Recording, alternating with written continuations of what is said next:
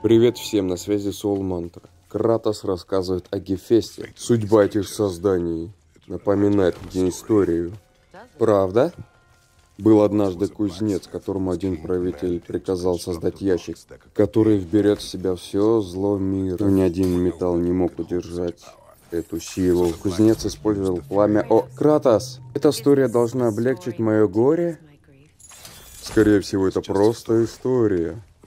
Путь в прошлое. Я ценю твою сентиментальность, но... Но твои истории...